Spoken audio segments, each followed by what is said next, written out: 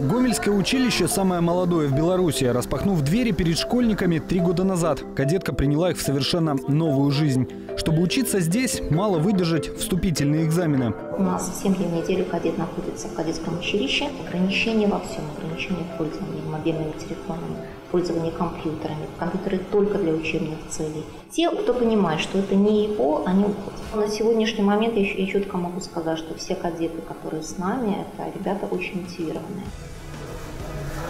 Адаптироваться в новом коллективе воспитанникам помогают психологи и преподаватели. Четкий распорядок дня и множество обязанностей.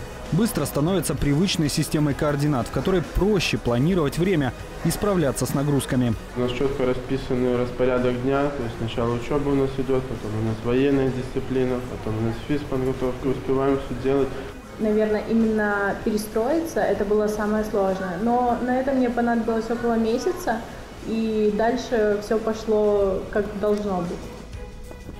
Физическая подготовка в расписании ежедневно. Каждый кадет может выбрать вид спорта для дополнительных занятий. Военно-прикладным дисциплинам – приоритет. Основная наша задача – это подготовка э, воспитанников к поступлению в высшее учебное заведение силовых структур. Это Министерство обороны, Министерство внутренних дел, пограничная служба. Там уровень физической подготовки плюс э, военная составляющая обязательно. Поэтому мы ну, делаем упор на то, чтобы кадет, выходя из училища, уже был минимально подготовлен к тем нагрузкам. Воспитанников училища в Гомеле знают и уважают. На всех городских мероприятиях и благотворительных акциях они в первых рядах. Кадетка каждым добрым делом подтверждает выбранный девиз «Быть, а не казаться».